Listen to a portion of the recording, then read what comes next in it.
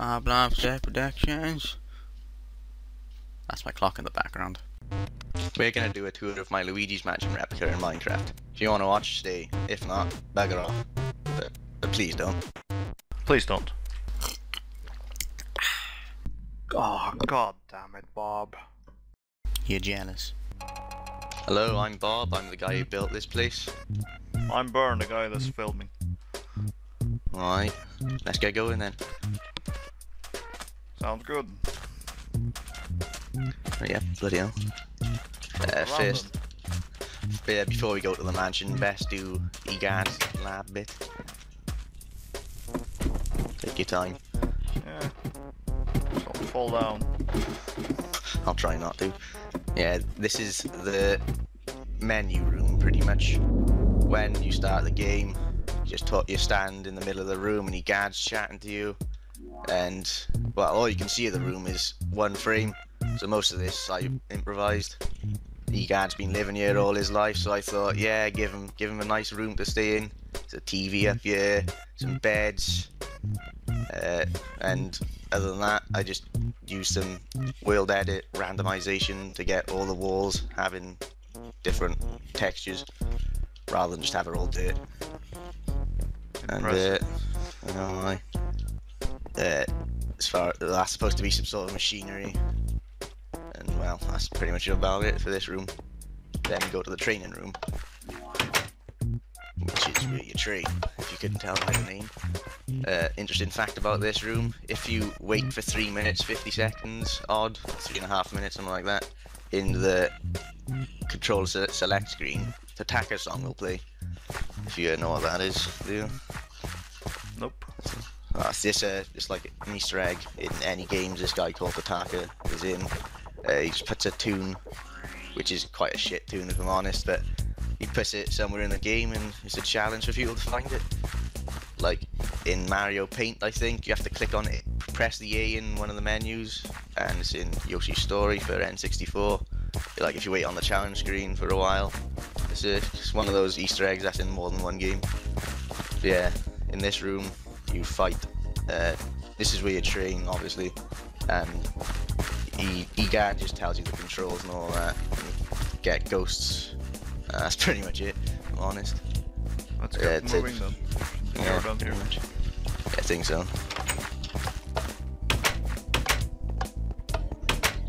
Next, move on to the ghost portrificationizer room.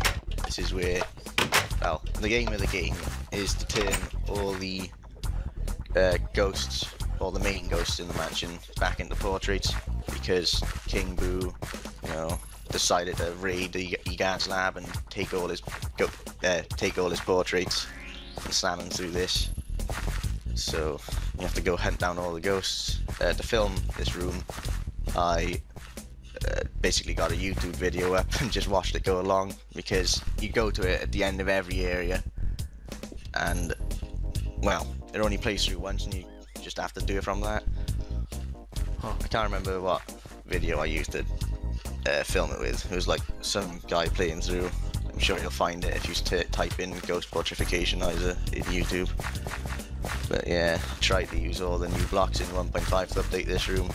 Uh, like, well, not so much 1.5 blocks, just new blocks in general. Like all these um, item frames, canvases.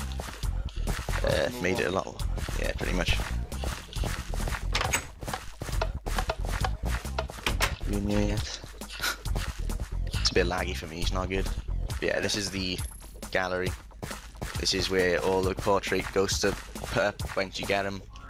Uh, I tried to make all the pictures look what they do, what, what they most resemble in the game. Obviously, there's not really much to go from off these pictures, but I tried. Uh, the angel statues, I'm pretty sure. Can you tell those are angels, Boone? Yeah, they look like angels. Much better than what you did before. Damn right. All those skeleton heads in there. I also I also used the pillars here, which is is new in 1.5. And uh, you see this slightly different portrait on the side. Yeah. Yeah, yeah. This is where uh, once you finish the game through, it hangs a portrait of what grade mansion you had. So if you have a certain amount of gold, you get better mansions. And uh, in the version, I, I can't remember what version I played. It's like the European version.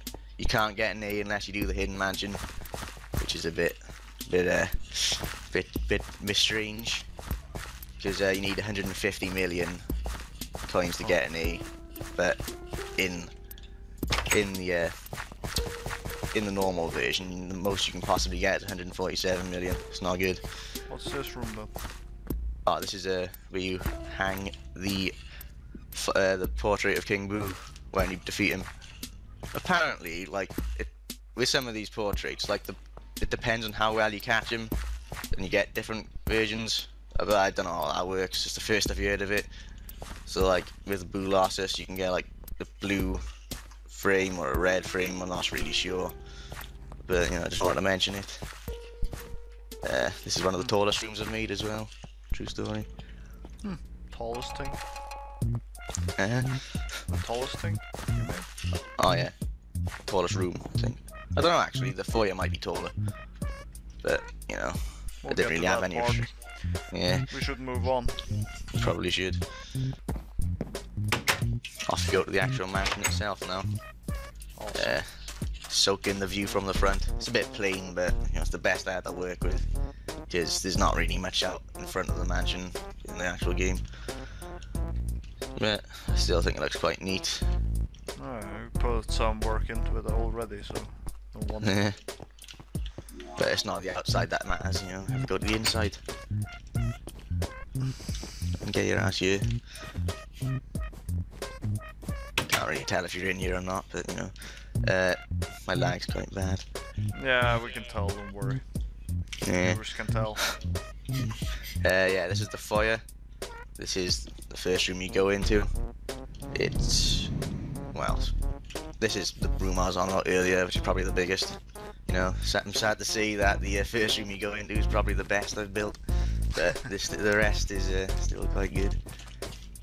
Uh, I put a lot of effort into this room. I I might put a comparison pic here to show the difference, but yeah, I did things like even on the walls you can show the cracks and things like that. But you know, that's enough of this room I think. On the parlour now. Begin at the second floor, yes. Yeah. Uh, yep. Uh, yeah, this is well, the parlour. This is the first room you complete. You have to hoover up some candles and then the painting starts speaking and so so, happening. Uh, then you just get second some of the orange ghosts, which is the ba- most basic ghosts. But yeah, that's pretty much it for this room. It looks a bit crowded, but I'd rather have it so all the stuff's shown and it's slightly bigger than it should be than just have it less detail and more fit in. So with things like the tables, I can use the carpets, which will be out in 1.6, uh, which should be make it think quite a few things a lot better looking. It looks a lot better than what you did before on the older version. Yeah, that's that's, that's what the More idea is. Yeah, that those two extra blocks on the in each room made a lot of difference, as I'm sure you'll see. Uh, I'm, I'll link the old mansion videos here somewhere at one point. So if you want to have a look, go ahead.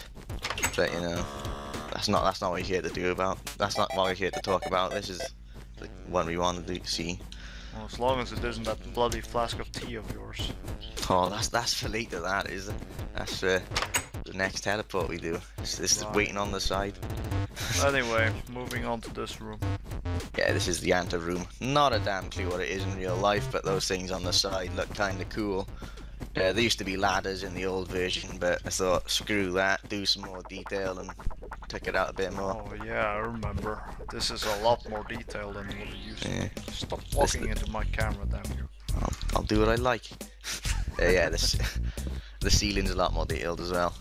See that extra watermelon detailing? Oh yeah. The watermelon's a clever. very, I know, watermelon's a very nice looking block, I think. Come on. Uh, if I say come on an awful lot, it's probably because on my camera I can't see if you're in the room. But you know, I live in Wales, my internet's shite. Don't worry, I'm following. Just talk about the next the next room then. Yeah, this is the wardrobe room. This you clear this room twice.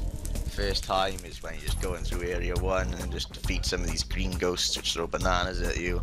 Then the second time, there's a blackout later on in the game, and you have to come into this room to defeat a guy called Uncle Grimly, who gives you the key to the breaker room, which lets you turn the lights back on. More of that later, as soon as you get to it. Uh, yeah, this bit by here, this is the balcony. Uh, you can soak up the view around here, you can see the graveyard, you can see the master bedroom a bit, you can see the boneyard. It looks very nice, I think. Yeah, it Uh, this is uh, one of the toads are here, and toads you can save. They're basically a save points. Uh, uh, other than that, you can water the plants if you want. They give you gems and all that. Nothing else here really though. Off we go to the rest of Area One now. Uh, we're moving on to.